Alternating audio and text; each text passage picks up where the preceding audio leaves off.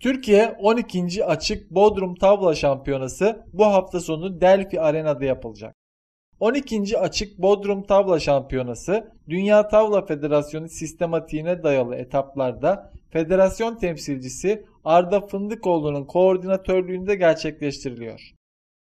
Modern ve geleneksel tavlada 9 kategoride düzenlenen şampiyonaya yurt içi ve yurt dışından pek çok yarışmacının katılması bekleniyor.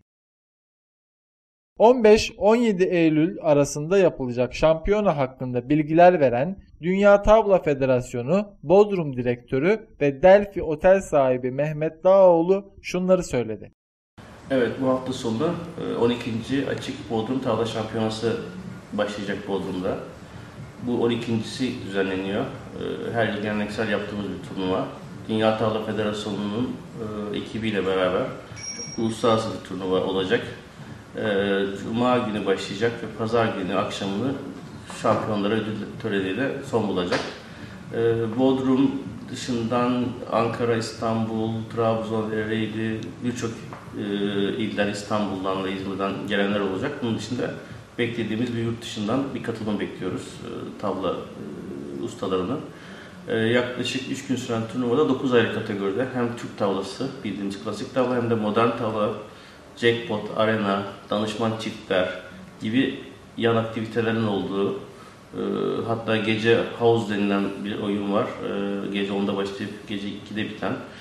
9 kategoride şampiyonlara değişik kupa ve ödüller verecek. Deri tavlalar, özel yapım tavlalar hediye edilecek.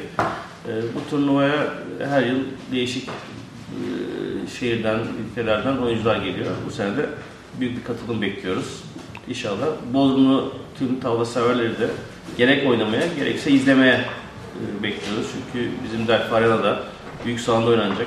İnsanlara eğer müdahale etmeden izleme şansını bulacaklar. E, dünyanın ve Türkiye'nin en iyi tavlacılarıyla e, izleme şansı ve oynama şansı bulacaklar. Tüm Bodrum halkını e, 12. Açık Tavla Şampiyonası'na bekliyoruz. Katılım şartları var mıdır? Katılım şartları kategorilere değişiyor, ödüllere göre değişiyor. E, katılım ücreti var. Onu e, oradaki katılım e, ödüllerine göre değişik şekilde var. Ama çok değerli katılımlar var. Özellikle bizim bu uluslararası platformda Türkiye çok iyi noktada. Özellikle Bolu'da çok iyi tavlacılar yetişti. Bizim hedefimiz buradaki tavlacıları yurt dışındaki büyük turnuvalara götürmek. Bu sene Tiflis, Avusturya, Almanya, Monte Carlo ve diğer ülkelerde ve şehirlerde oynanacak yurt dışında. Bunlara özellikle katılım çok fazla bu arada. Şampiyonaya katılım bedeli geleneksel tavlada 80, modern tavlada ise 120 lira olarak belirlendi.